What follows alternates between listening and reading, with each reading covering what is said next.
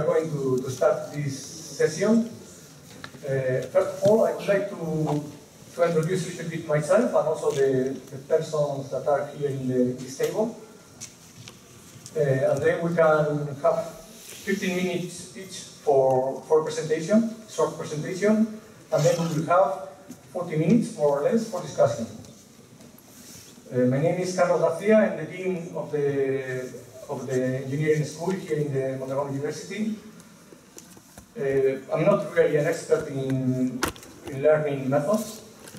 I've worked a lot uh, in relationships with companies. Uh, and that's the reason, I, I, I suppose, uh, I'm, I'm, not, I'm here now. Uh, for me, it's a very interesting, a very interesting session because we, we, are, we will have the occasion to talk about the relationship between university in engineering is very, very important, as you know, and the industrial needs. And for that we have uh, three important persons with us, coming from uh, three companies. Uh, first we have uh, Miguel Encabo, coming from Orona. Here we have Alex Tarchini, coming from MathWorks. And there we have Xavier Fouger, coming from the Dassault system.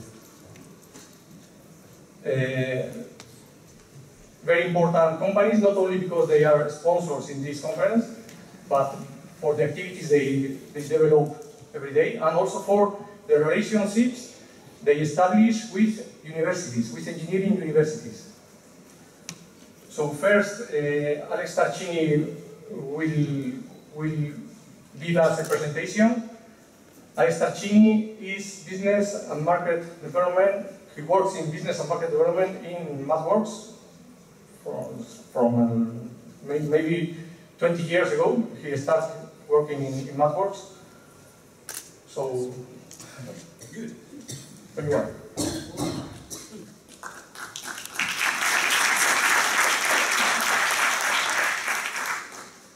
Okay, so uh, good morning. So this is actually the third conference day for me.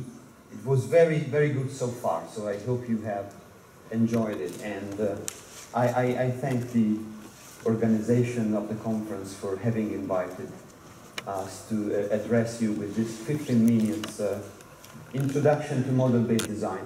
So this is going to be kind of tough.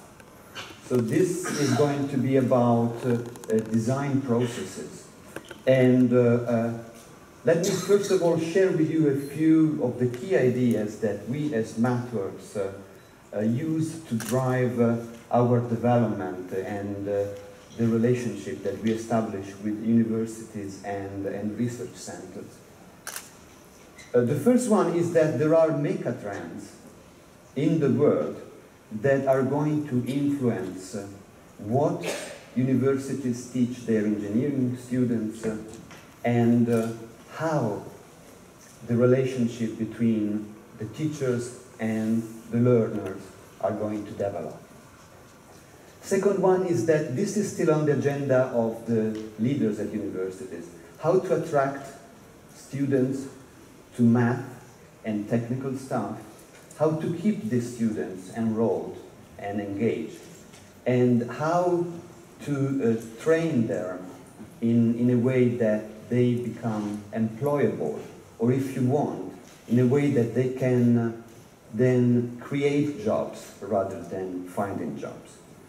And last, we believe as MathWorks that these two things, technical computing or computational thinking if you want, and model-based design are uh, uh, kind of uh, tools, kind of tools that universities can help to bring together innovation and industry needs, teaching and what the world actually needs.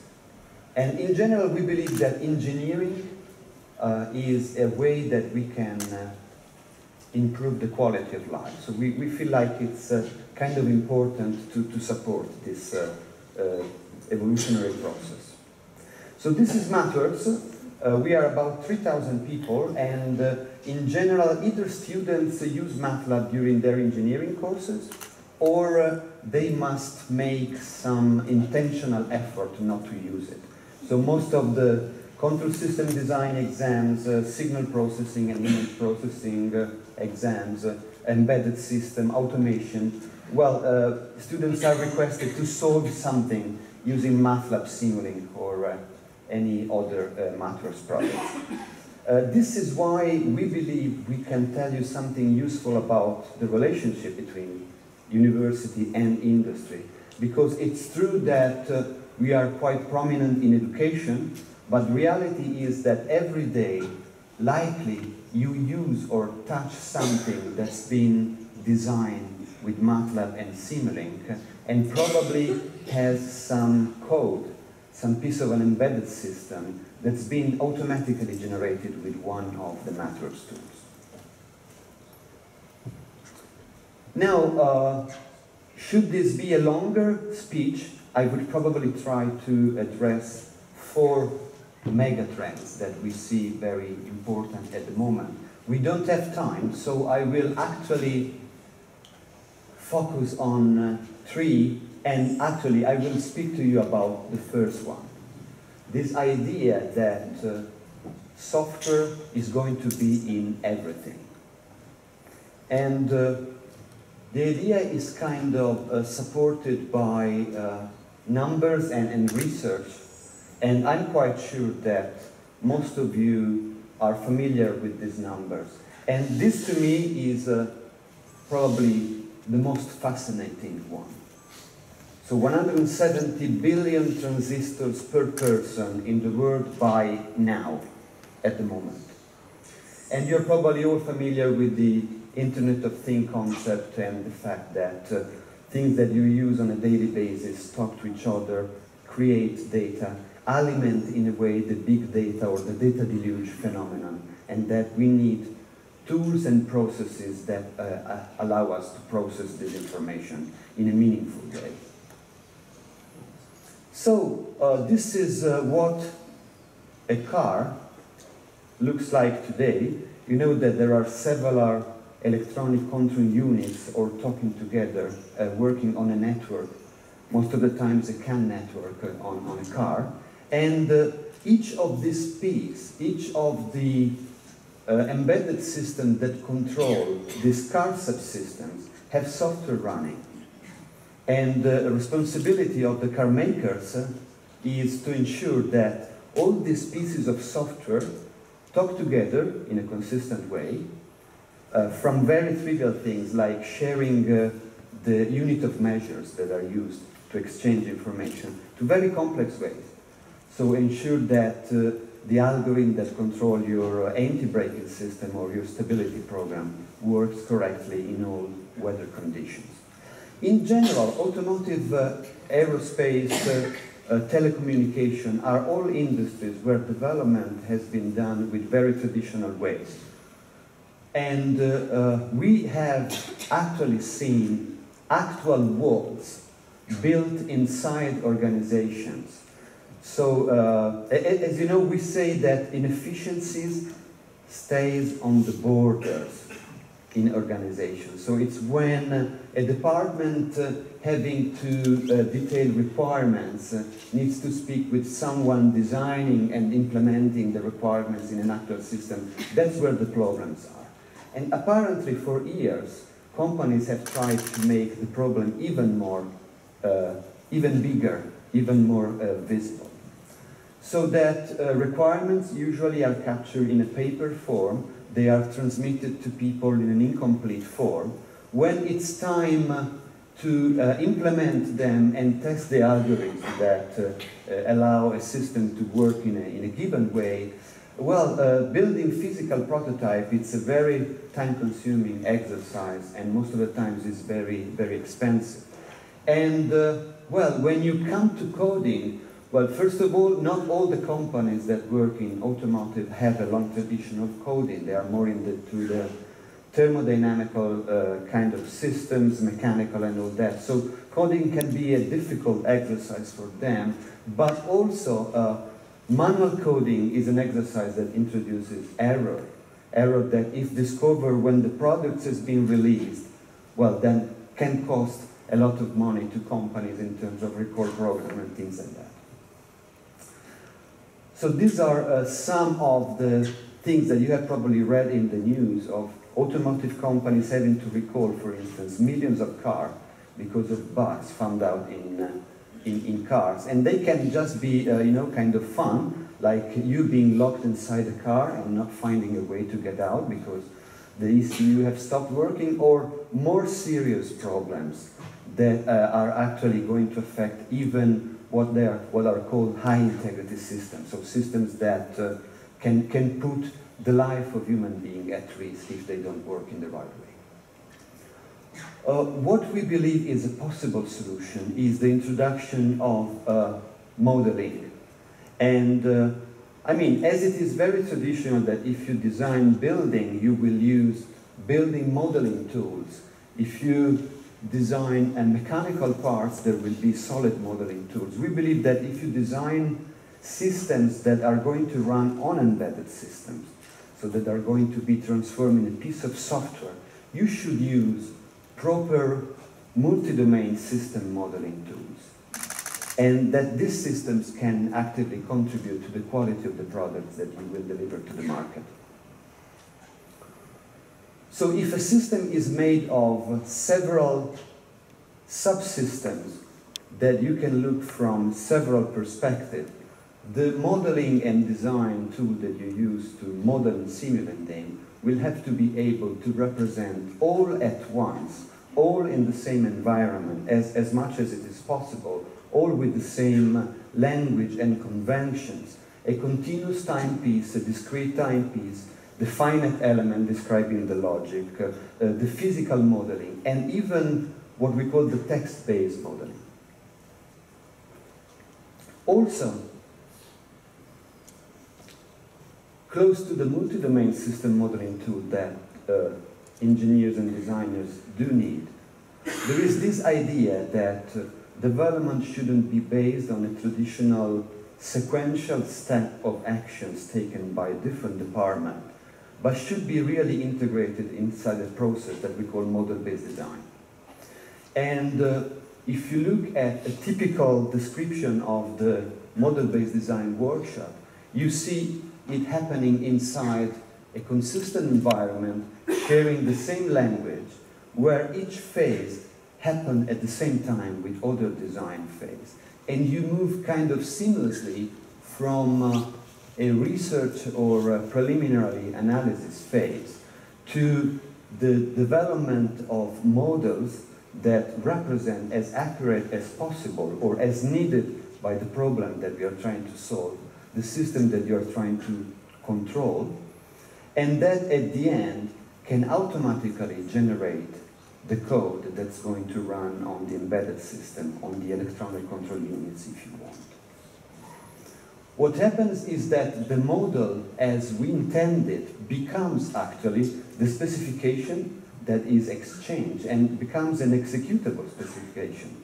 So that if you have to explain your colleague what the uh, door locking system of a car is supposed to do, instead of writing, uh, we, we say a, a, nine years old child of, of paper describing in detail how the system should behave, you can give it a model that he will be able, he or she will be able to simulate and visually understand how the system is supposed to be working and uh, where possible failures or emergency status might be. So this is a, a, a very industrial example. This is the, the Volt. And uh, according to uh, General Motors, almost 1% of the code running in the Volt subsystems have been generated automatically. And there are concerns that this might put job at risk. I mean, what will the programmers do when the code will be generated automatically by tools. But as a matter of fact, I mean, I'm in my fourth or fifth career at the MathWorks, and the same is true probably for computer, computer IT specialists. They will have to turn themselves into managing tools that generate automatically code rather than being the ones that really write the code itself.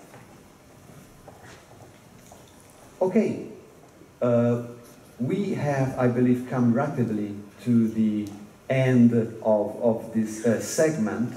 Uh, in general, let me just mention and tell you a few words about the other megatrends that you see. I have mentioned the Internet of Things. You know that there are now protocols that allow sensors, physical objects, to uh, exchange information in a consistent and kind of shareable way. Uh, we believe that not only that physical layer or first logical layer is important, but it's also important to uh, have tools that will allow uh, companies uh, to analyze the mass of data that's being produced and uh, get some sense out of it. Uh, in general, there's a lot of talking about the big data, or if you want, the data deluge uh, thing in the press. That's not always a, very good sign, but companies are becoming aware of the need of uh, having tools that can meaningfully process and analyze the, the quantity of data that are going to be produced. This is kind of a, of a graph showing you how the connected things are going to grow in, in the next 10 years or so. And it, it's really dramatic. This is another trend that's very important to us. Uh, you know that you as university, uh, you are no longer the only information provider. Students come to you with a lot of concepts that have already been pre-activated. And this happens through non-formal teaching agents, informal teaching agents. So there is a movement that's called the movement of makers. They gravitate around labs that they call themselves uh, fab labs, fabrication laboratories, uh, places where people and experiment with 3D printer, with low cost, or as I prefer to call, experimental hardware, like Arduino, Raspberry, and uh, Lego Mindstorm. This is an important trend for us. It goes together with other ways that uh, information are now distributed, like MOOC. I believe universities have to uh, understand exactly how to deal with these uh, non-university information providers, how to become knowledge managers rather than information managers, and how to actively and proactively use things like Arduino and Raspberry Pi to make what students do a bit more practical and also a bit more fun. I was in Orleans last week and it was very surprising. We ran a workshop, a hands-on workshop, where people can put their hands on hardware and then can try to create uh, simple systems. And uh, uh the, the, the happiest person in the class was a social science student has never seen a line of code and had been able to light a LED on an Arduino board. And she was literally jumping on the chair. She was incredibly happy about it. And uh, I, I, believe there is great potential in uh, all this stuff for uh, organized use by, by universities. And uh, it is our uh, job try to make this thing as seamless and uh, effortless possible for people that do not have uh, an existing strong engineering background. All right, I uh, will stop here. I believe we are at the end of, of my segment. I'm not even going to uh, summarize the key ideas. Uh, we were discussing, we uh, expect you to have questions. And uh, if you will not have questions or curiosities, as I told you, we will ask you questions. So it, it's better that you uh, get prepared to interact with us speakers in, in some way. So thank you very much.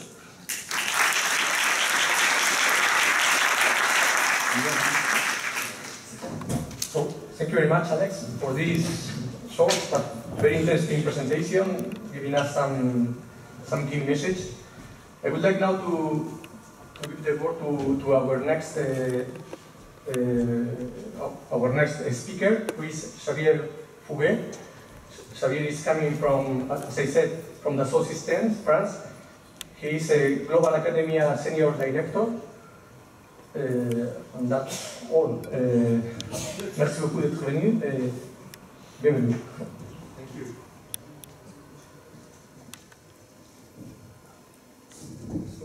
Why the colleagues uh, who have the presentation, I start telling you how happy I am to join your secret society of PBL. uh, I discovered you uh, in, well, Annette was my uh, initiator. She, she brought me into that society, Annette Kolmos. And last time I had the pleasure to address you was in the opening, at the opening of the Aalborg Center. In between, uh, I have uh, given uh, testimonials of my adherence to your movement by pushing our public uh, uh, relation group to, to write an article in our corporate magazine about PBL. This magazine is outside, you can take it. There is an interview of Annette in it. so it's, it's compliant to the religion. I, I made sure she polices our journalists. So page 36 in the magazine, you can find out some. uh, I, it's an easy transition after Alex for me to, to start this presentation because we, we cover about the same segment, but uh, looking at a very, very uh, physical part of what engineers do. Uh, software is getting to be everywhere, but this everywhere still needs to be engineered in conjunction with the software. Understanding how these two things will in interact. This is what we want to do. Uh, we see ourselves as a scientific company. The purpose of the company is very basic. We want to simulate everything. It's uh, ambitious, but we want to simulate everything, including life, including uh, things that are not traditionally, uh, I would say, manufacturing oriented. Uh, that means that we, we, we try not just to put some programs on algorithms, we also try to put some algorithms on realities that have not yet been conceptualized into models. There are good examples, for instance, in life sciences, where there is still a huge work to do in creating models of what happens in nature. Uh, the company is quite large. We are the first French software company operating worldwide, uh, about 3 billion uh, turnover. Customers in all industries, this is just a sample uh, to tell you the, especially the, the typical domains where, oops, typical domains where this software will be used in, in, in this uh, segment of the industry. If you would have asked me to, 10 years ago, who is the largest customer of the company? It would be uh, Boeing, for instance, or Toyota. Today, it's uh, Procter & Gamble. So these type of techniques that consist in creating product, uh, computer models of things that will exist, whatever these things are, is spreading from traditional manufacturing industries to everything. And these Computer models are the language of engineers. This is how people who invent new things interact together. So if we teach bad English to our engineers, we should also teach them to model in a computer uh, what they think about in terms of new products.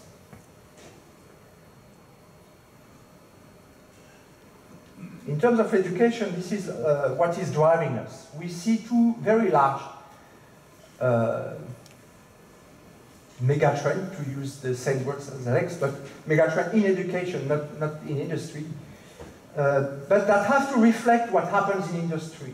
One thing is interdisciplinary collaboration, the capability in a new graduate to combine different disciplines, and here, that's the very reason why we are attracted by PBL, because PBL is a good way to force the combination of different types of knowledge into one intellectual and constructive exercise.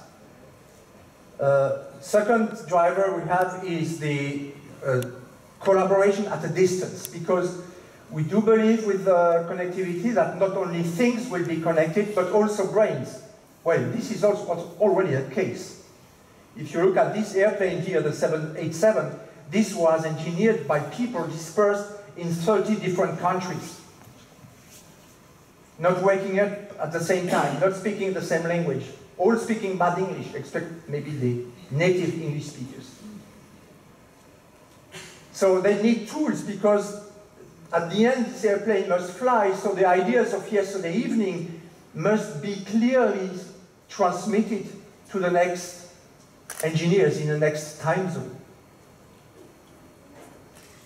Are we teaching these practices? We don't think it's yet at the point it should be, and we try through our work to encourage universities and to facilitate their adoption of these methods in terms of how they teach.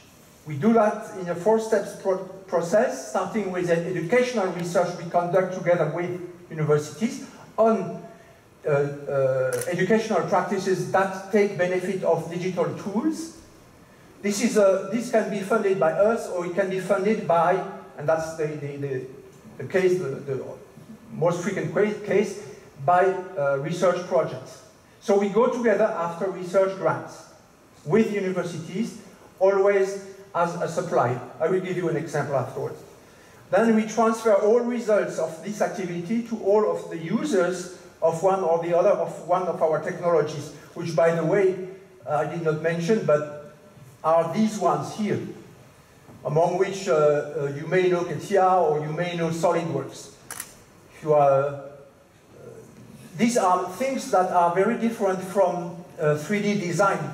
These are things that relate to uh, social networks, that relate to search engines in large data, because these are tools that will increasingly be engineering tools. Not, engineers will not use only design tools. They will have to navigate into massive sets of ideas that are available either on the internet or uh, in their private databases. How to navigate in a creative manner into this ocean of knowledge and extract things that are relevant to what I, engineer, try to invent or the problem I try to solve.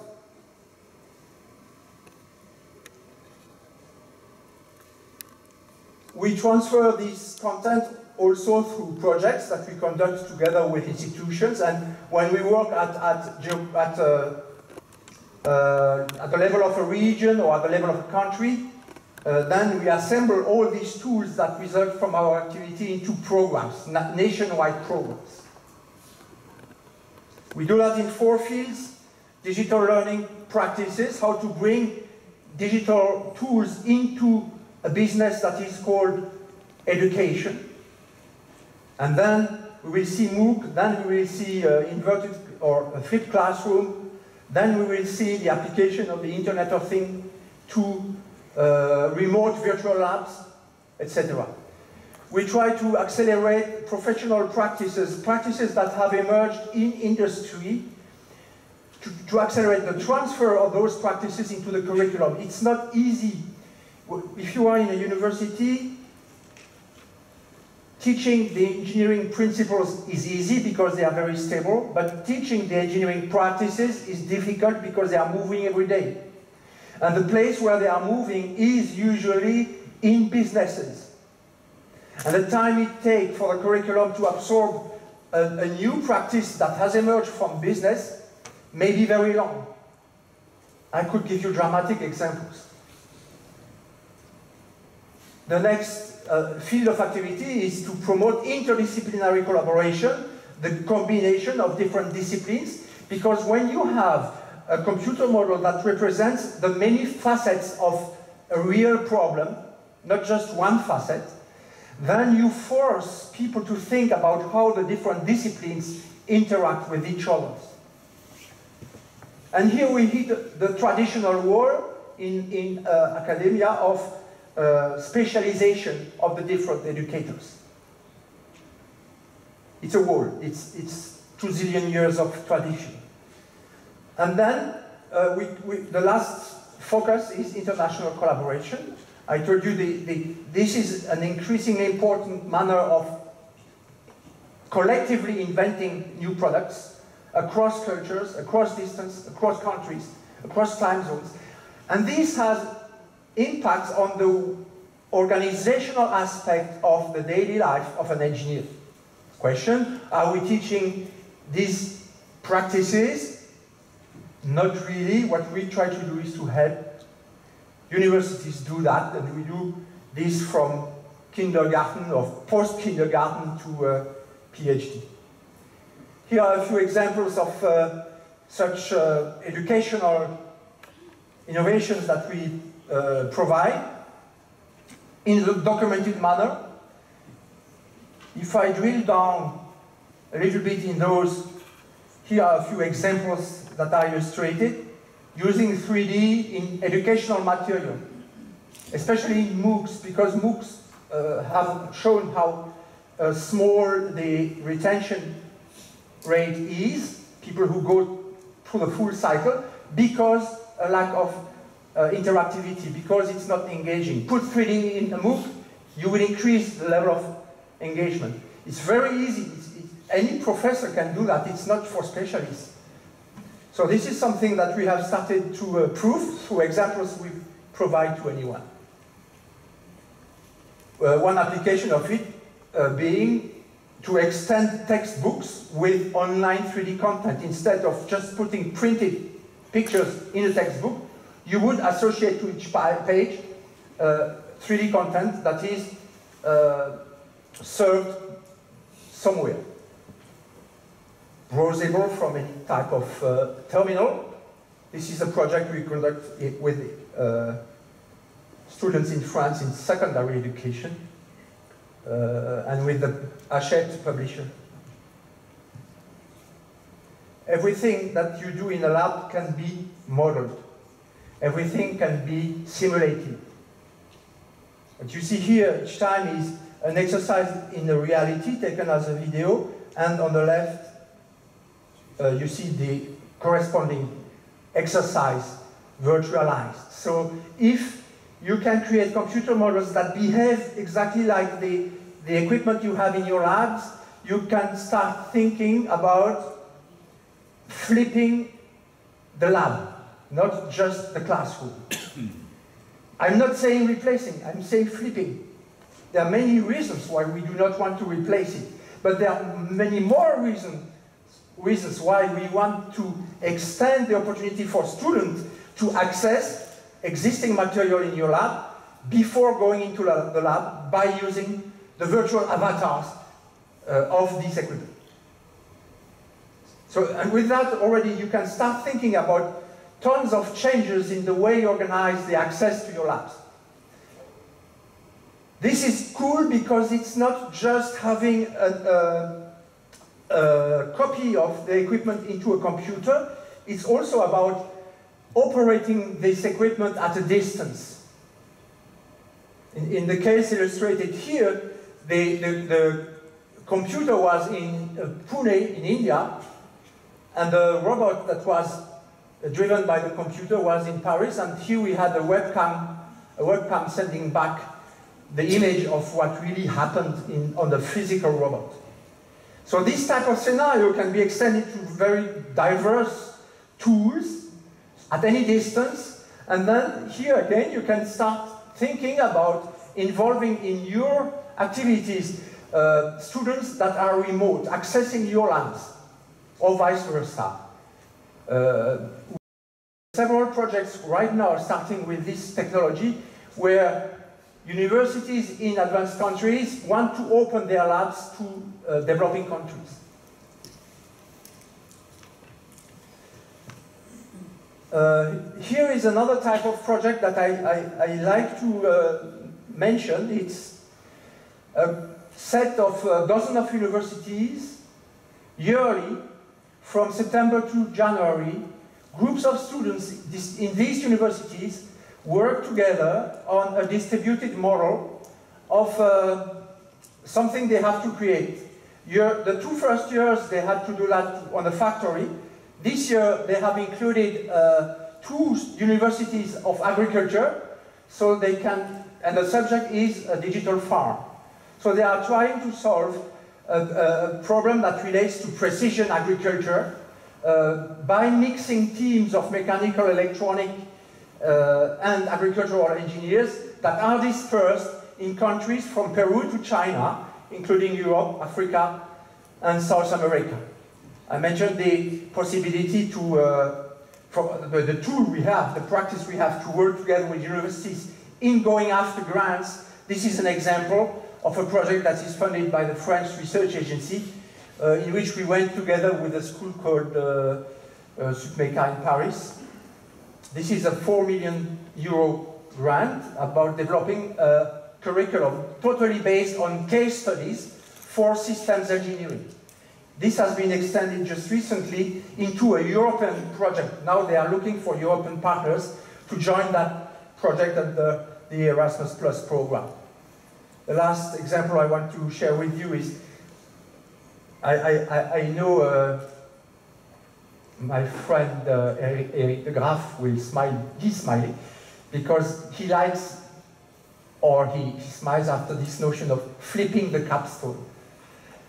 The same way we flip the class, same way we flip the lab, we, we try to flip the end of study project and making that an exercise that students perform at the beginning of their studies. To experience collaborative activities, to experience problem solving right the first or second week of uh, their presence at university by combining different activities into a single predefined exercise that will bring them into different disciplines using tools that will give them a glimpse of what they will discover at university.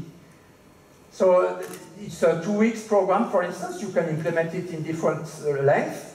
In two weeks, you will then, at the end, tell them, Tuesday afternoon, the role you had was the role of a purchase engineer. So they start realizing what are the different specialities in the engineering profession, which they do not know when they arrive, the first year students.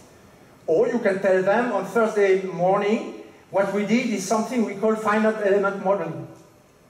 Finite element is something difficult and boring that they will discover in semester three or four or whatever. You announce the different courses they will be able to take, but they will have had through that exercise uh, an opportunity to put in context these disciplines. I, I skip a few others. Just one word about this one. The tools I was mentioning are tools in which you, you will be at a distance collaboratively define objects, systems, solutions to problems. But you know uh, better than, than me, you know that this exercise requires interactions that are also of social nature. This requires creativity, solution finding. So what we can do today is, is also to provide not just a space for collaboration in which they will share the representation of their ideas, but also a space for guidance where background information is provided by the educators, and a space of inspiration where they will have access through uh, specific tools to the World Wide Web about the subject that is interesting to them, the problem they are trying to solve, as it was discussed yesterday evening, not two weeks ago. It's instant indexing of relevant subjects. So they will find ideas about uh, putting protesis on a duck, if that's the issue. Who did that yesterday evening? Up to yesterday evening. And that's the way more and more the industry is working, also not just by themselves inventing, but inventing in the context of the global brain. Thank you.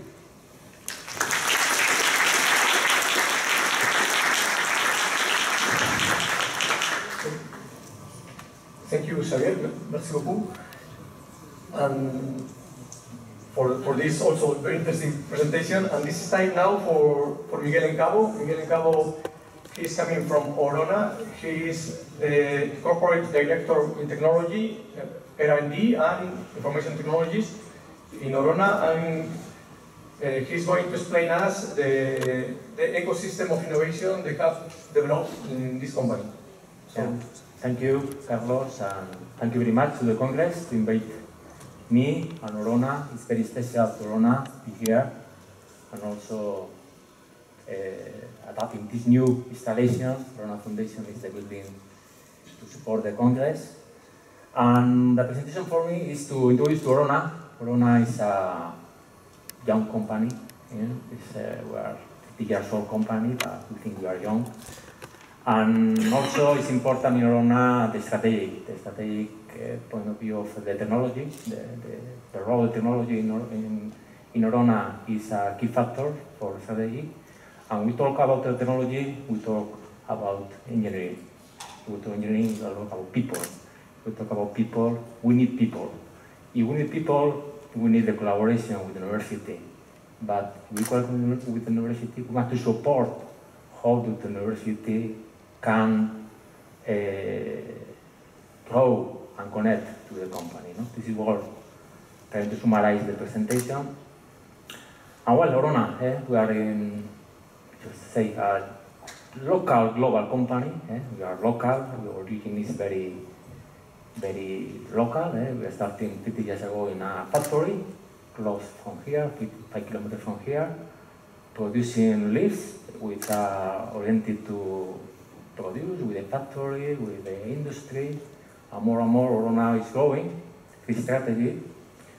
And in the last period, in the last uh, 20 years, Orona will also have a spectacular growth uh, in this uh, in this position. No? Now we are in we are more than four 4,500 people. We are focused in Europe, but very present in all the world, eh? more than 100 years, 100 countries. Well, this is good, but we are in a sector, in a eh, global sector, with the, our competitors are huge com- comparing with us. Eh? We are 25 times bigger than Orona, and these competitors they are global and have uh, a lot of uh, resources and they use the technology as a resource in the strategy. No? And that is a problem to Orona, how answer to that, because we don't have enough, enough resources, we don't have enough knowledge, we don't have enough, a lot of things we don't have, no? And, and this is the question, no? To, in our model, in our, how to answer to this situation, we must to innovate. Eh, we won't have the same the same role, the same materials. No? Well, in the last 20 years, Orona focused in the technology. eh, it is very uh, impressive growing in the effort that Orona put in R&D. But if we add the effort in these last 20 years, he compare it with one competitor, for instance, Kone, send the same eh, put in, in the effort in 20 years, the same effort that in one year, one of the competitors you know, no? It is a very dramatical position, no? We talk about David against Goliath. You know we're going, no? Well, what is the four key factors to answer in the technological uh, innovation model? What commitment? Eh? Very clear when, when you talk about relation with Orona, the university, other partners, the commitment oriented to the same goal. Open network and organization, we talk, is very usual to talk PBL. PBL is, is the base of the company. We are, 30, 20 years ago, we are in PBL process. We need to collaborate, we have to share information, we need to, to manage, we have to communicate, they're oriented to the same results. We have to share, no? Technology also important to answer, and the most important, we need to results. Oriented to results. Eh? Because technology, knowledge, people are very important, but finally, we don't have results. some, something in the chain is not good. No? This work on the, well, commitment is the key point uh, to, to orient it. You are in the, if the company has a problem or has a need, it's very important that this need, this problem, be to understand with uh, partners or, uh, well, more than 15 years ago, Orona, in this, uh, in this situation, when we check the competitors and the market, realize that we need to survive, we need to change. Eh? This is one of, the origin of, of, of this point. Uh, we need to reconfigure the model of Orona. We need to promote the technology because technology in, in this sector has a, a, key, factor. We need to be uh, not dependent. Technology is very important to be compete, to be not dependent, and to be close to to the leader and close to the market. No, this is for that Orona must invest. Uh, this is the first thing we need to answer. Put resources uh, to give uh, to invest and to compromise not for one year, you know, to long term at this activity. eh? And for that, we establish a relationship with university, with research centers, because the Orona resources are not enough. Point of view of volume and also point of view on, on, on the rapidity we need to answer to, to the needs. Well, what is the summarizing the study vision of Orona today is represented in this figure. We have five strategic pillars, one international, international talk about growing. We are very small. Uh, we are not the, the we consider we are not uh, is a big company. And we checking in the local. In Hernani is uh, the most important company. Also in the Basque Country, maybe in Spain. But when you check around the world, we are nothing. No, nothing. If you uh, comparing with competitors, no, at international is very important. No, not only growing, also to diversify, and also to be in the real in the real commitment with the competitors. No? The second one, service. Service, uh, explain, no? The origin Orona is an industry company, no? Oriented to produce leads, produce uh, products, but when you check the, the business activity, this is important, this continue to be important, but point of view of profitability is not enough. Eh? Before that, Orona is moving in his portfolio of business more and more to the service business. And to be a service company is also a challenge. And we want to transform it a lot of things, culture, capacities, etc. Competitiveness is uh, summarize the need when we orient to the future and we need to invest, you need to grow, you invest uh, at companies, you must invest in R&D, we need resources to do it continuously, not only one year, two years, three years, your activity must be competitive. If not, it's not sustainable. So that is a real commitment with the competitiveness, and this factor is one of the key point of the result we ask for the technology.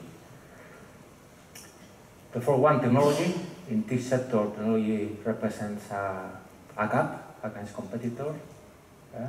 As, uh, leaves, you don't uh, know what is the technology in the leaf, it's real, you consider it's a traditional product, electromechanical product. But uh, this is real, this is uh, 20 years ago, it's like that, but in the last 20 years, uh, these big competitors changed completely the, the product or the concept of the, of the business, introduce a lot of technology, on the embedded system control the elevator. One elevator today has more than uh, 50 CPUs in controlling all the all the movements of the of the components, and this is why Orona have this this problem or have to need to, to solve this this this gap. Uh, in the middle, developing model, we talk about people. Eh? Orona, I don't explain all the story Orona. Orona is a cooperative, No? Are also special in this case. Our main goal, like cooperative, is to to develop people, to create, to create and generate business and, and. And for do that, organization, model this organization, developing of the people, training of the people is nuclear also. So that is in the middle of this strategy. well, the mission of, of is to answer to this question. In the complex chain, eh, the, the value chain of Orona, but in the R&D, the production, the service business, we have a lot of, of uh, opportunities to, to improve and to be close of these leaders in, in, the, in sector. We are ready to, to follow this, this and, and, and, and control the, the gap we have um, oriented to, to these results. No? Technology, to do that, well, we are not innovate, eh? we are uh, based on, on tools, I think very popular, but maybe the, the difference with uh, using the tool is why you're not using this tool. No? I think it's very simple to, to present you. No? We're trying to, to orient it to the future, to anticipate, and to have questions. Eh? Because to innovate, to collaborate, the important is to have questions. Maybe you have all the answers we want, but uh, the important is to, to promote questions. No? And, and, this, and this question, well, regarding the future, regarding the market, the competitors, the trends of the future, regarding also with our capacities and with who have these capacities and how to improve that, and finally to the push-pull between the market and, and, the technology. No? For do that, maybe the specialist, the PBL system of Orona to do that. No? The special to do that is Orona integrating this process, the company, the university, the research center, and to give a special, a special um, key factor success. No? So that is very complex because we must integrate different culture, different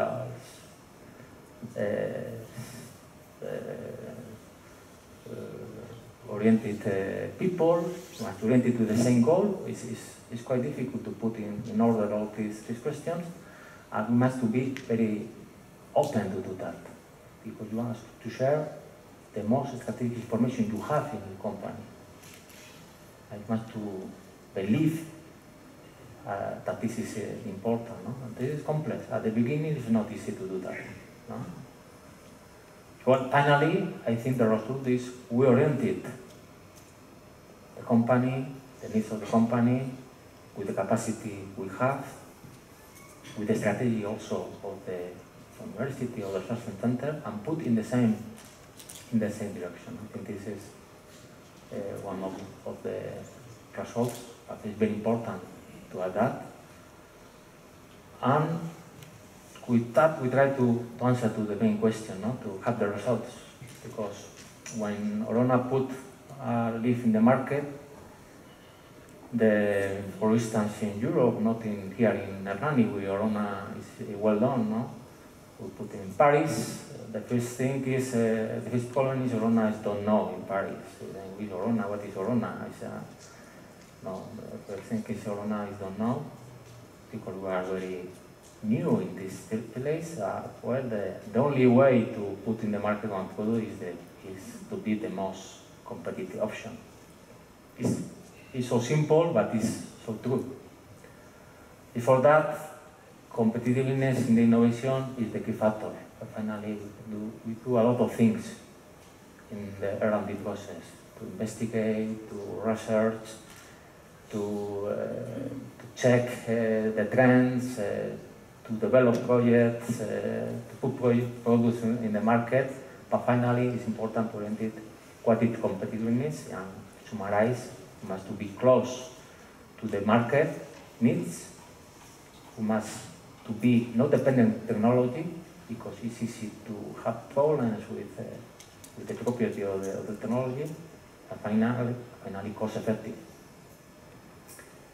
well, organization of our network uh, in Orona, well, also Orona, the technology area who are responsible in Orona is integrated in the board of directors at the first level, that it is very important. If uh, Orona has a commitment with uh, technology, must be also protagonist in the first level of strategy. And after that, Orona, pues, in, we need or we have uh, distributed uh, teams. We have two factories, one in Hernani, other in Vitoria. We create a corporate center or an IAC to manage and support the, the technology, and we uh, introduce in this in this uh, in this net our partners, the university and research center, who have some capacities, eh, facilities. Eh? It's important in India to have the facility. We are growing. We are we starting now so so long in this uh, in this. Uh, we are more and more increasing these capacities, and Orona IDEO represents one of the challenges Orona uh, developed. No, Orona trying to put in the same place, in the same space, the company, the research, and the university. No, and this is a figure who is distributed Orona IDEO. Maybe you are enjoying this uh, during this day, the nice buildings and the nice place we are uh, developing. Yes, it's true. We try to put something, something special. And uh, in this space, we are put the company, the represent the corporate building of. We manage uh, all the factory. Close to that, the technology center. We put the technology, and in the same place, uh, the university, and not also the university point of view to collaborate in R&D. The university oriented to the people, uh, to because Orona, this project needs, if we grow, we need people. This process needs of people. No? Well, when we share in this model uh, three, three mainly actors, we're trying to answer to these questions, no? to have the same strategy in technology, was oriented the, the different lines of the, of the university and the companies in the same directions. We must put together human resources and we must try to be very efficient in, in the economical investment. No? This is what the key factor. We try and, we regarding to the, future to open. Eh? This uh, local network must be going. We have some some experience, but we think it's in, we're starting. We need more time to, to go because it's true the gaps in technology we must to solve integrating other capacity, not trying to develop by own capacity because it's not so so so quick to the market. No? So that integrating uh, other capacity is, is one of the key of this of this model. To manage this ecosystem, we have uh, a cycle uh, for four years cycle. Uh, we started in 2000. It's the fourth time we renovate the cycle. The main is to ask for four years uh, the Orona strategy, eh, how the company thinks trying to be important for the future. And after that, to put different committees. Eh? In, in the red color, you can see the city. The city is the, the general meeting of technology in Orona. Every six months, eh, we put together the Orona company with the university, with the research center, and we share in, one journal all the, the information, the important information, and only is a process to, to share information. It's a process to combine, to be close, to orient to the same. To the PBL must be also uh, is a key factor to have the same the same goal in teams. to be independent, to be different company, to be different reality in each day. No? That is important. And after this general meeting, we celebrate uh, two years ago, 25 times we are doing that. It's, it's, it's important no? to, to have this uh, consistency in, in the time. Uh, well, the rest is uh, usual, no? The committee is to, to manage the project, to manage the budget, to manage the, the, results of the, etc., etc. No? And finally, well, to manage the in, in the around in this portfolio, yeah, we promote in, in for four years we must have a planning of project. In this project, you we introduce the different things, the perspective, the generation of ideas, the good ideas, because we need good ideas, but ideas is so easy to, to manage. We need to improve the alliance or to how to solve the gaps we identify in our capacities, but the financial also. Eh?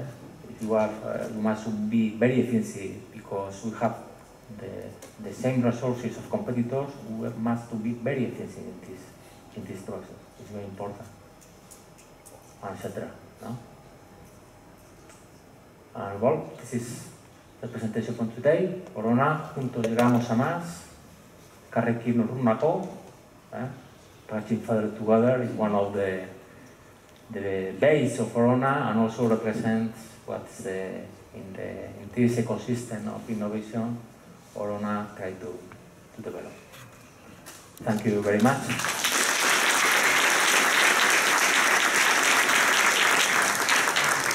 Thank you, Miguel, for your explanation of the ecosystem innovation in Orona.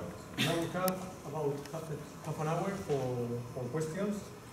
Uh, you can first, oh, sorry, first uh, perhaps it's good to, to introduce yourself and then to, to make the question.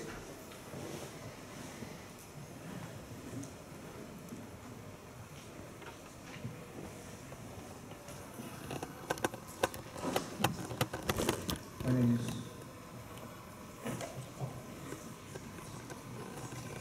Hello, yeah. my name is Peter de Vries. I'm from the Delft University of Technology in the Netherlands. I have a question about companies and universities because universities tend to deliver students and companies tell they're not skilled enough and what I see happening here is that companies change rapidly. Universities do not change that rapidly. So, what do the companies expect from universities? Or, maybe better, could they describe what kind of a university they, they would like to have? Excellent question. Uh, Is that working? Is this working? Censorship. No, I like this question because I have, I'm dreaming about that for years. To specify the university as the way I would like to have it. Uh, a few attributes of the ideal universities in my eyes would be an institution that, number one, trains their employ, employees. Continuing education of educators. This is not a rule. It's a rule in many private businesses. It's a law in some countries for private businesses to spend some money and a percentage of working time for training the employees. So number one, when you speak about continuing education, you usually think about giving education, not receiving education. Number two, a place where there are incentives to accelerate the change process. Changing the curriculum, adapting the curriculum, uh, is an exercise that may take several years in, in tr traditional institutions.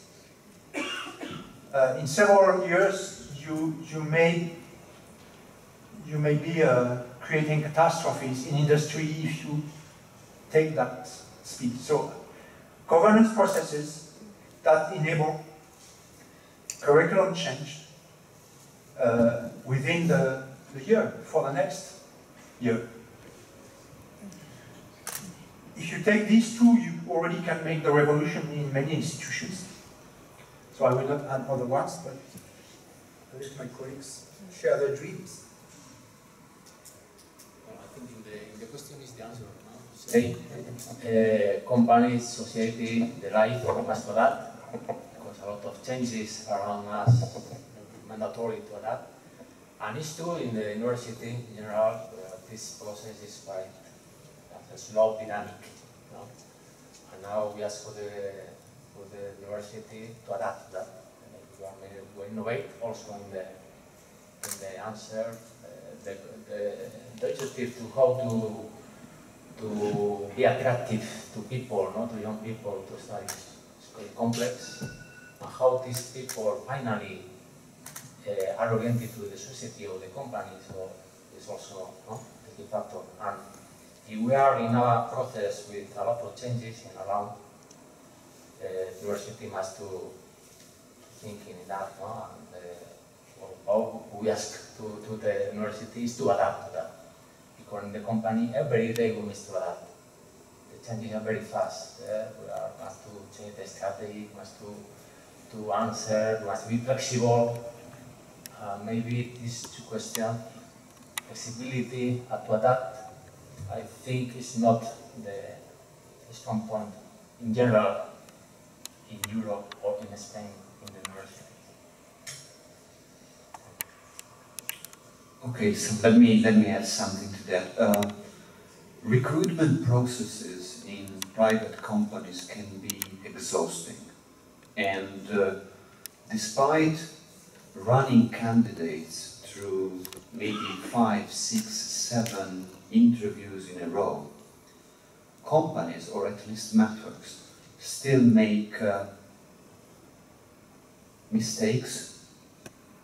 Uh, with this meaning that we still hire people just to realize that there is a mismatch between the person's aspirations and what a company like Mathworks needs. So I believe companies at times have unrealistic expectations. So we want to hire people that can, uh, you know, eat fires and not, not smell of gasoline. That, that's kind of a, not, not, not possible. But still I believe that universities could help companies and employers by clarifying with students what they really intend to do. And I believe there might be a first very big category. Do you want to work with people? Do you want to because if you want to really be an engineer and build something, and you end up in uh, managing a team of people and having to pay attention to feelings and things like that, probably that's a big mismatch.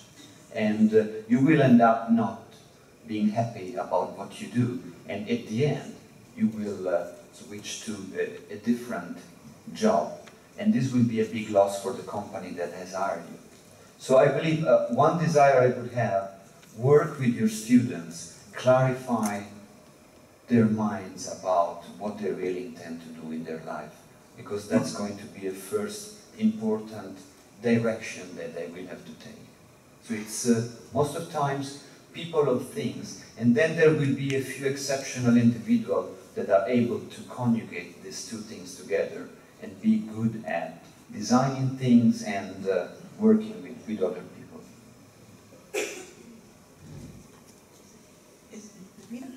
Uh, it's uh, I'm Bettina from Aalborg University. It's a question I, I, saw on the slides from the Orona presentation, something about that you work in project teams. And I wonder because what we do at Aalborg and many places here is we work, the students actually work in problem-based projects. And then I was wondering how, how do you see, I mean, how, how do you actually work? I mean, not, not, just a question for you, maybe all of you, all three. How, how do you, in the real life, work in project teams? How, and how do you, do you see that kind of fitting with PBL, problem-based learning, or can we learn something both ways maybe? And yeah, again, is it relevant for you that our students come with all of that? It relates to what you were just saying in the middle, that they come with this experience working in projects. That's what we're hearing. So, thank you. Well, uh, we invest uh, in this question a lot of, of uh, time, no, to, to time to practice and connect it, uh, the student to the, to the company is the key factor, no? How we do that and with the experience? I think the experience starting with uh, sharing uh, study and work. In, in the Mondragon University, this is one of the key factors, not today, no? 20 years ago, when I was also teacher, student, and worker. Uh, I think it's based off of the experience we have. This is it gives a lot of things. This process.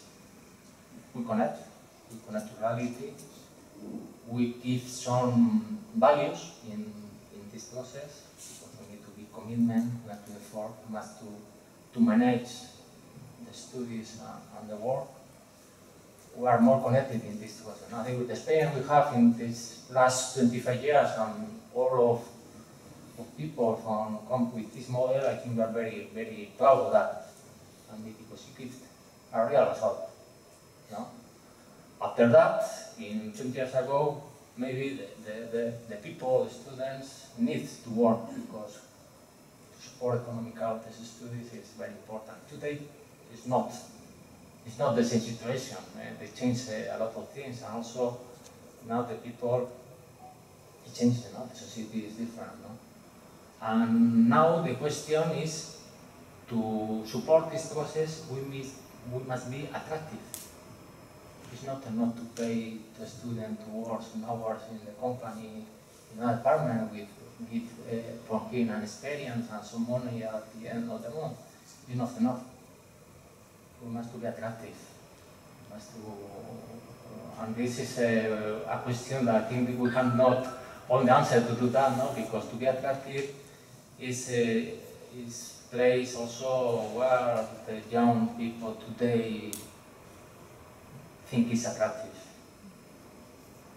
Good question, no? Is the relation, is the the ambience, is the configuration, is the freedom some But uh, for a model, I think is is the key factor. No? And invest in that, and try to also to influence in process to do that. No? Yeah.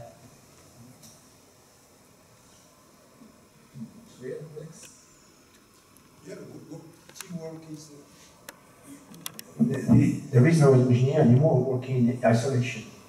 It's, well, you may find some stars, but that's the exception. It's not the big number you are looking at.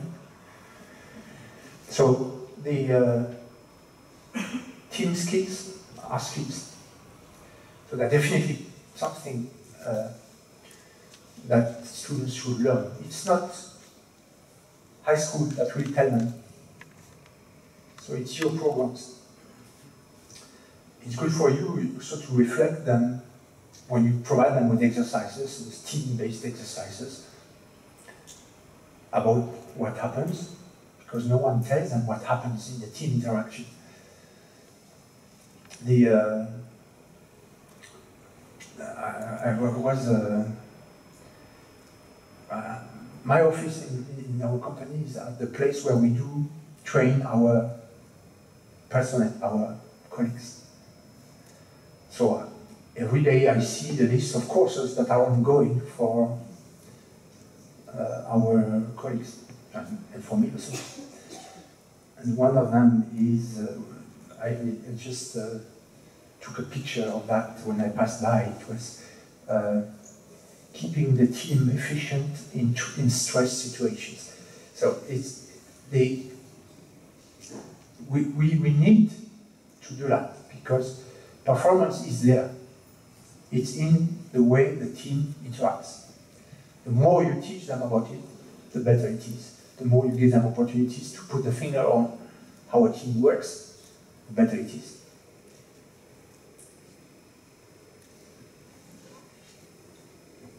Yes, let, let me try to add something to that. Well, uh, development organizations are kind of living PBL places, right? That does not mean that uh, we comply with, with a set of rules that uh, Annette would recognize as best PBL practices. Uh, in general, uh, when, when, a, when a new person joins a team, uh, it's uh, usually given a set of rules that should uh, allow him or her to become a good corporate citizen. What I see missing is uh, um, something about how communication happens inside uh, a, a company. And the fact that uh, whenever you are exchanging information or you are receiving information, you might be in several different relationships. You might be someone who's just informed of what's happening, someone who's being consulted about what's going on, or something that actually will be one of the negotiators that will make things happen. So assume that no one will tell you that team working is not important. It, it would just be probably inconceivable to say something like that.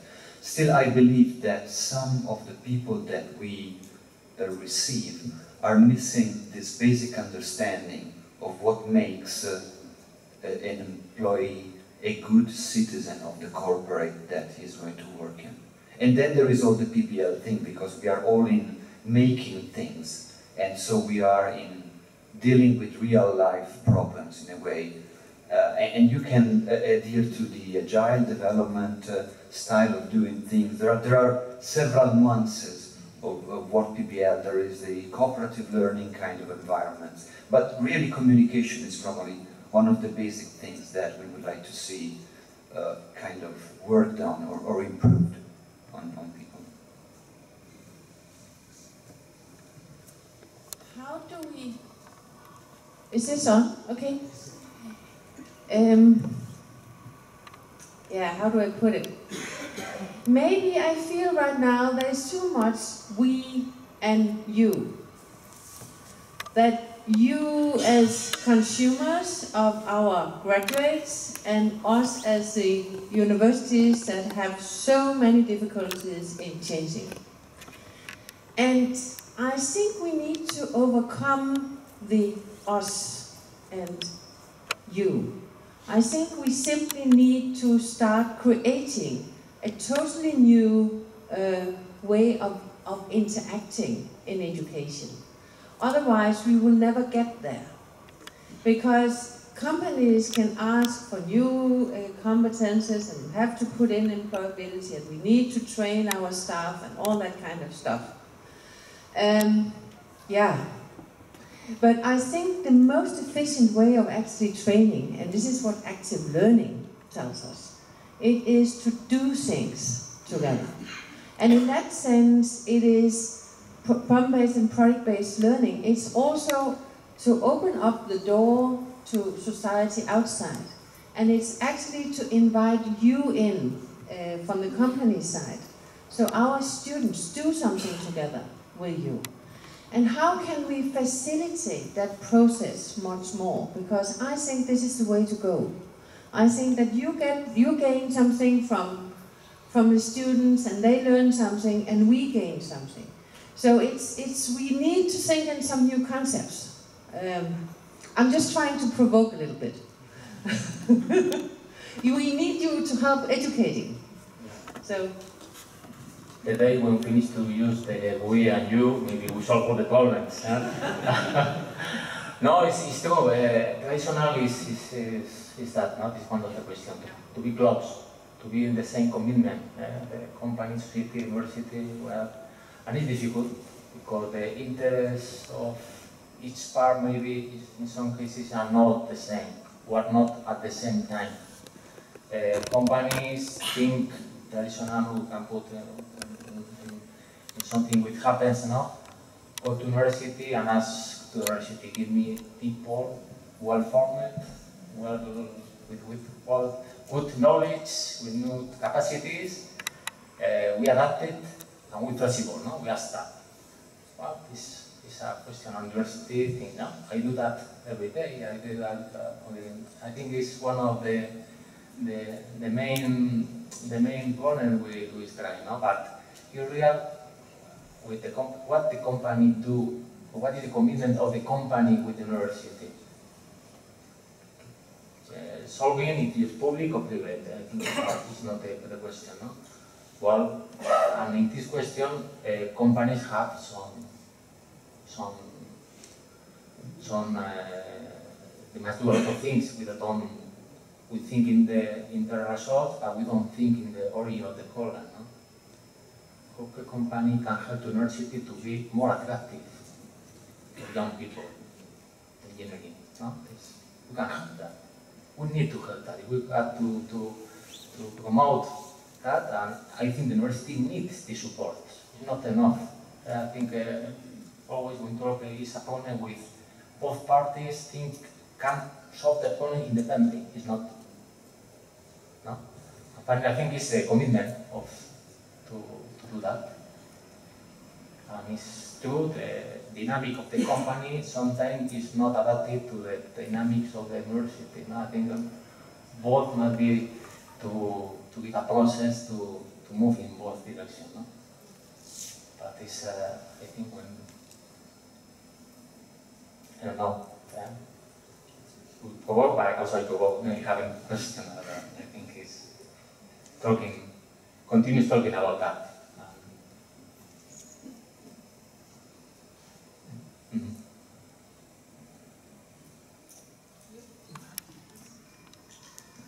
Uh, my name is Mona Dahms from Aalborg University. It seems that all the speakers are from Aalborg University, sorry about that. Um, first of all, I would like to thank you for three very interesting presentations. And then I would like to maybe return a bit back to the first question which was raised here. Uh, because much as I agree with what Annette just said about the collaboration between industry and universities, are industry and universities the only stakeholders in higher education? I heard Alex talk about Universities must match the industry needs. I heard Charlotte talk about a business called education. Just one week ago, I was in a teacher training workshop uh, on board a two-masted schooner somewhere out in the North Atlantic, and we were discussing sustainability, especially in the Baltic region. So we were like 30 teachers from 14 different countries, all very, very concerned about sustainability about environmental uh, issues, climate change, pollution of the Baltic Sea, etc., etc. We were very concerned about rising inequality between rich and poor, both within countries and between countries. We were extremely uh, concerned about high, high levels of unemployment, especially among young people, etc., etc.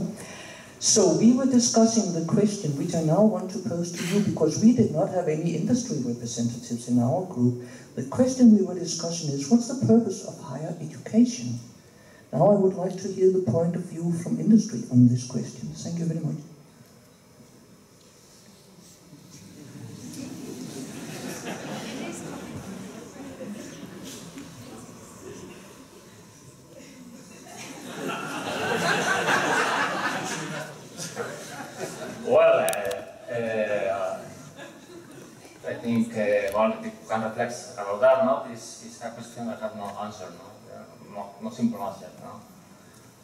University, of a company, you know, we, we checking the, the complete chain between the university and, and the company maybe it's very short.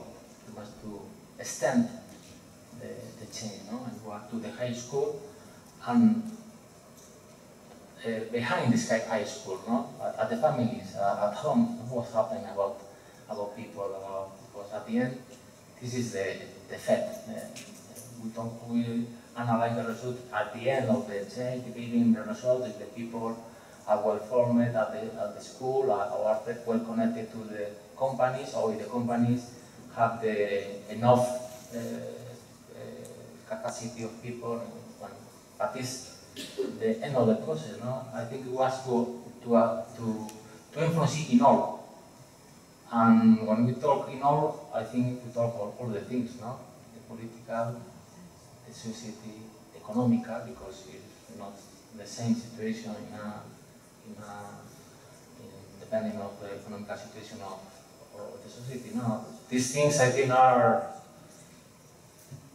are on the on the, on the table. No, the question I think and now I think in, in, in all the world that we are now thinking? Because the effect of things that happens in in affect. Uh, we don't think uh, trying to solve in our in one part of the chain trying to solve this, this question is not enough. But I think, again, must be what is the, the key factor, the commitment of all in this process. Starting for, for capacities. Yeah? If the company can do things to trying to improve that, within yes. Also the university, also the politician, also in our houses with our children, all must be in this. It, uh, it is it's, uh, simple to, to say the problem is others have the problem. I have also, you know, it's not, it's not easy to that. But finally, it's very complex. So, sorry, haven't. It's only because I'm very brave that I have tried to answer the question. Uh, so I, believe higher education, my hope is that you and us and uh, whoever we might consider a, an agent of, of education can uh, mm, train, create, form students able to deal with complex issues and situations and able of uh, thinking at a higher level of abstraction. This doesn't tell anything about what these people should really look like, but this is in general the expectation. This is why we define that higher education rather than uh, education. Now, uh, one of the issues, going back to Annette's point earlier, is that one size does not fit all. This is true for people, this is true for education systems, universities, but it's also true for companies. So the ability of a small or middle enterprise to really dedicate time, resource, energy, and effort to create a relationship with a university, to uh, have uh, guest students that need to be managed. The, the ability of these organizations is, is very limited.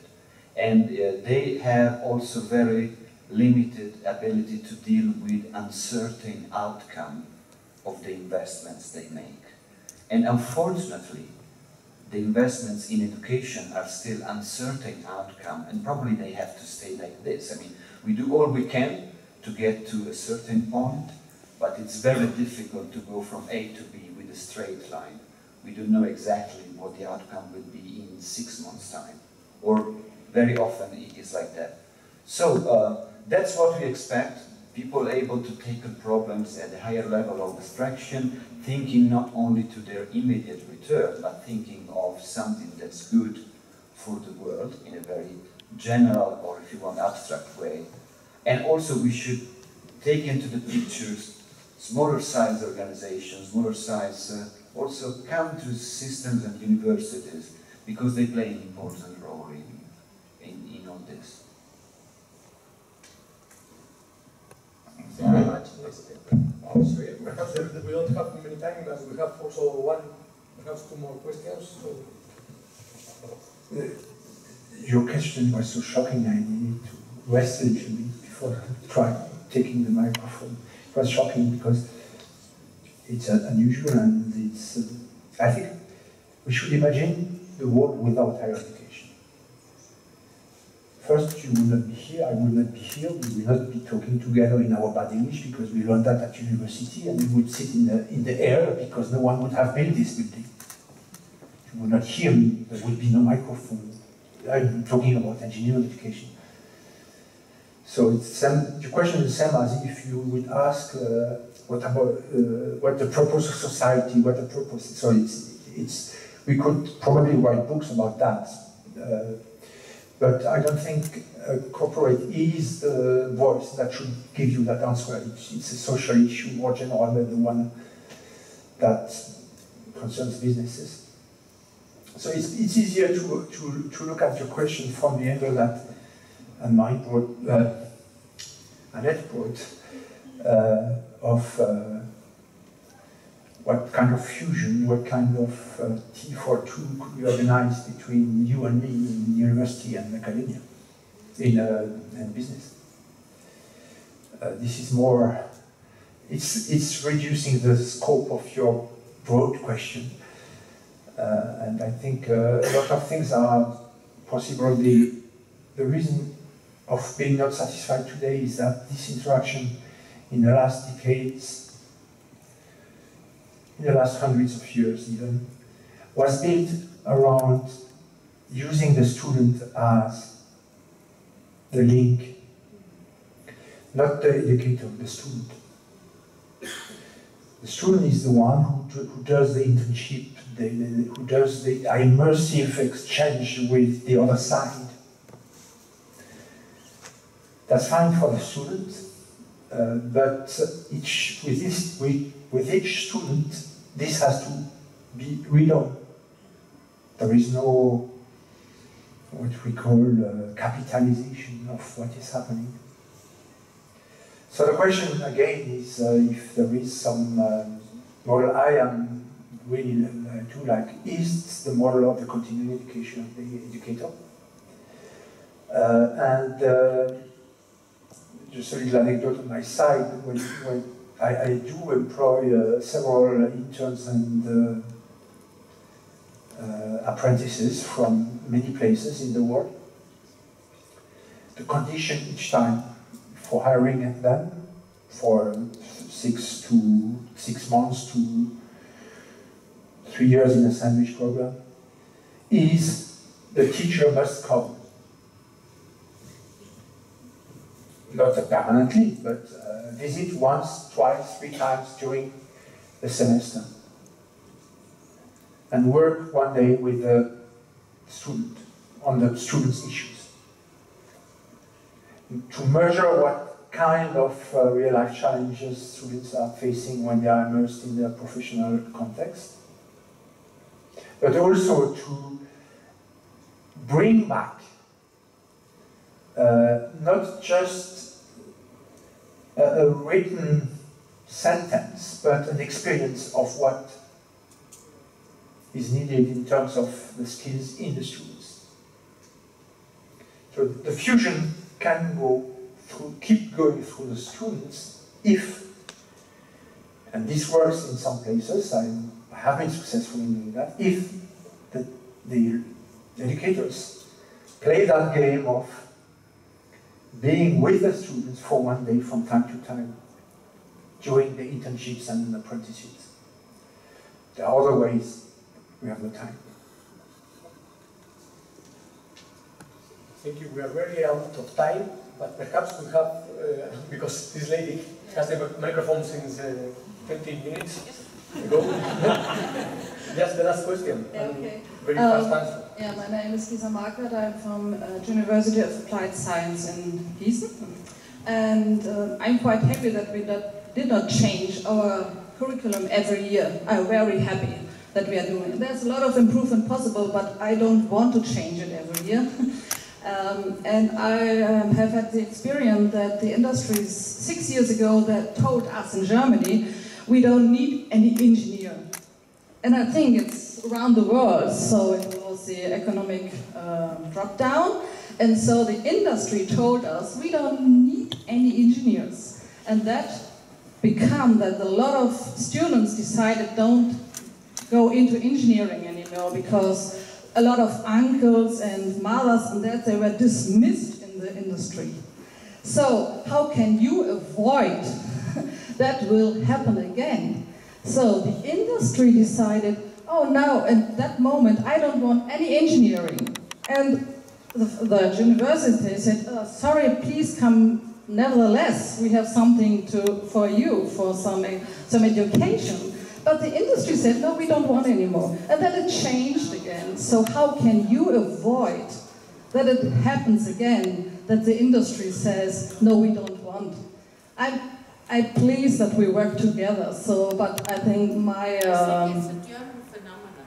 May, no, no, I think in America you have had the same, and in Brazil the same. So it's not uh, not a German phenomenon, but but I think we should work together in a way that we have, um, not only we are driven by, by money from the society, so there must be some society issue again. But um, I'm really pleased about this working together, and Annette, I think it's it's we that we can build up a new system. That, that's what I say as well. But uh, to I, am not happy to, to see that, that world's growing on and there's no society issues. And I think industry has other yeah, intentions than the university has. It's not only to produce uh, engineers for the industry, but also for the society. That's, that's what I want to say. But how could you avoid this yeah, demands?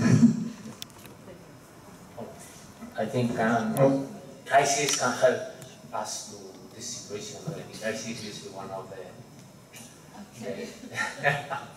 can cannot help. No, but it's true. In sometimes at these situations, and this is why what happens because that happens like in other processes of the society when we are focused on on the short time, we can you have this type of situation. I need to yeah, governments, companies, society, sometimes we look at short-time objectives and you put this decision and it's very, very, very bad. No? Uh, but the question is in the companies, in the street, in the university, in all the, the, the factors have the no capacity to look at long term.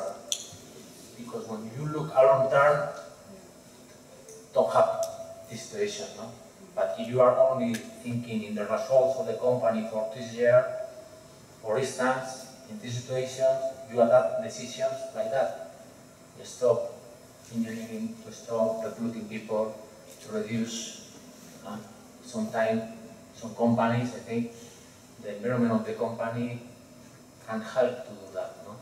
But the question, the key point is to have enough capacity and enough conditions to uh, adapt to long-term decisions because training, developing people, in engineering, etc., are all activities, long-term activities. We will not must to stop, accelerate it, depending of each year. No? It's not easy to do that, and it's happening. But I think uh, is the guilty of that. I don't know. Maybe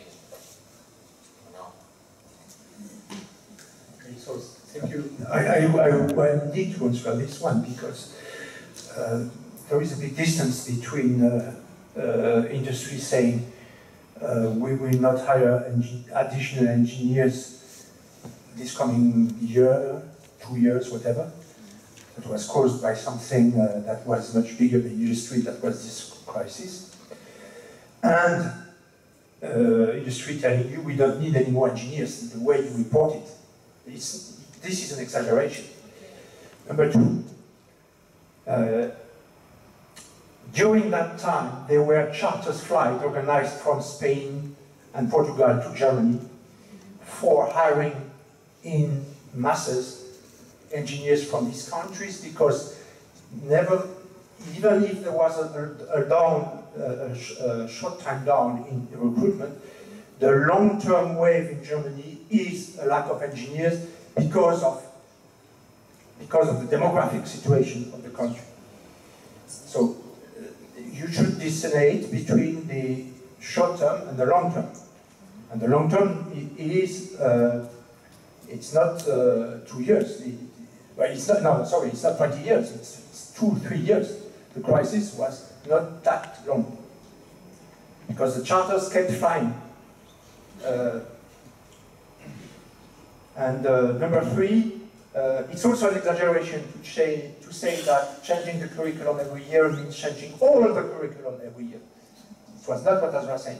The readiness to change, the readiness to take risk is something that academia must learn as well. Yes,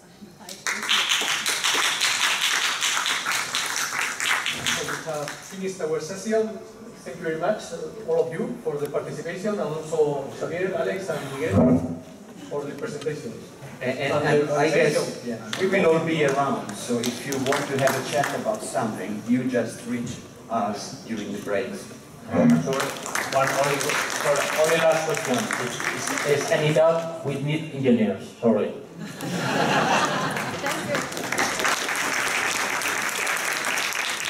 Thank you. Used to recall that we come back at 2 o'clock here. Okay? Enjoy your meal.